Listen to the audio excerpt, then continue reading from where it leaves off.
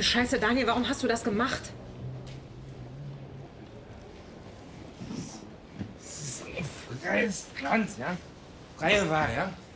Ich kann stimmen, für wen ich will. Du bist mir total in den Rücken gefallen.